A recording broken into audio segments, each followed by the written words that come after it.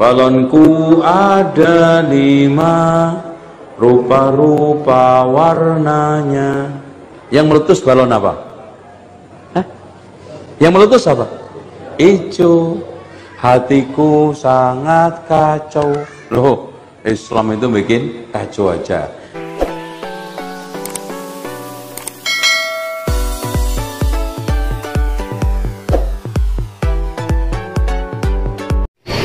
Oke, Assalamualaikum warahmatullahi wabarakatuh. Kembali lagi di channel Ismailirda Dan kali ini kita akan bahas sedikit Salah satu ceramah yang saya pikir adalah Menjadikan agama itu menjadi sebuah lelucon. Yang entah mengapa Yang dibahas adalah masalah tauhid Eh larinya ke lagu Balonku ada lima. Videonya seperti ini. Coba bayangin, demi suatu ideologis untuk menjatuhkan Islam. Dan di Indonesia juga kan banyak kan, antum nggak berasa. Contoh, anak-anak kecil sejak umur TK aja sudah dilatih untuk benci Islam. Balonku ada lima, rupa-rupa warnanya. Yang meletus balon apa? Hah? Yang meletus apa? Hijau. Hatiku sangat kacau. Loh, Islam itu bikin kacau aja. Tinggal empat pegang erat-erat. Apa? Merah, kuning.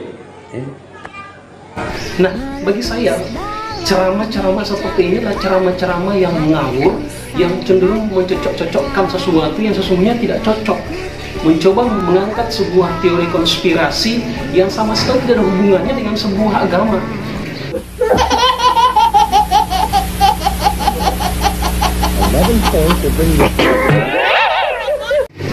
Bagaimana bisa sebuah lagu dianggap bisa menghancurkan umat muslim? Saya dan banyak orang yang saya pikir yang sudah mendengarkan lagu ini dan bahkan anak-anak kita sudah menyanyikan lagu ini, tapi ternyata mereka tidak auto.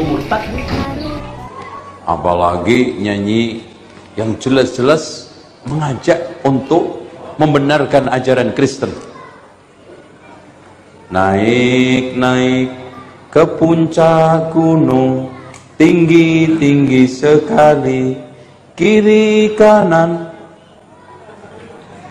Anda lihat Messi ketika berhasil nembak bola. Iya. Ya, kulihat saja banyak pohon apa? Nah, kenapa cemara?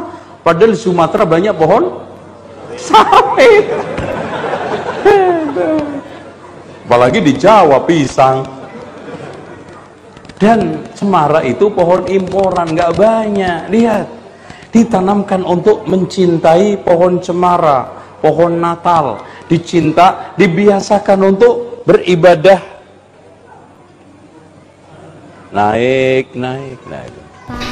Herannya orang-orang seperti ini adalah orang-orang yang hanya melarang orang tapi kemudian tidak bisa memberikan solusi. Kita tahu bahwa Kak Sur ini atau kemudian dipanggil dengan Pak Kasur itu adalah orang yang sangat berjasa besar dalam memajukan pendidikan yang ada di Indonesia. Bahkan beliaunya adalah orang Islam, orang Muslim. Jadi kalau Anda tidak bisa berempati dengan mengirimkan surah Al-Fatihah kepada almarhum dan istrinya almarhumah, setidaknya Anda jangan mengusik karya-karyanya beliau dengan berbagai teori-teori yang sesungguhnya sangat menyesatkan seperti itu.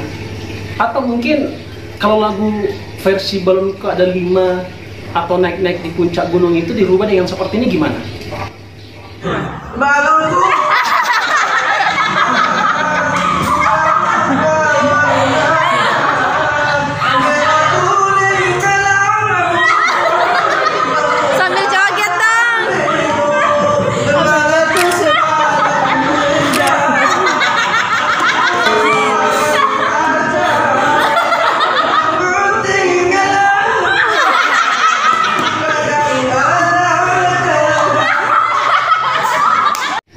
Bagi saya, hal-hal semacam ini adalah sebuah pembunuhan dan membuat agama kita menjadi bahan tertawaan.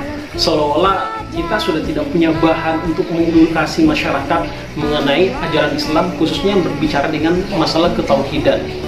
Bisa dibilang sangat jauh dari konteks dari agama yang mengajarkan sebuah kedamaian, yang mengajarkan kita gimana supaya kita tidak terlalu naif, terlalu kaku, atau bahkan cenderung menghasut orang lain untuk saling memata-matai bahwa seolah-olah ini adalah sebuah konspirasi yang justru menghancurkan umat muslim atau umat agama tertentu.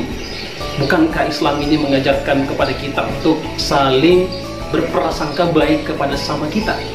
Tidak dengan cara-cara seperti ini.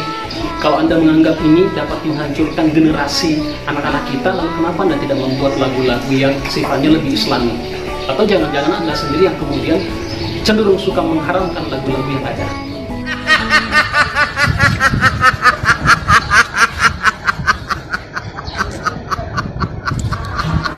So, bijaklah mengambil sebuah manfaat atau ajaran dari para ustaz-ustaz yang ada.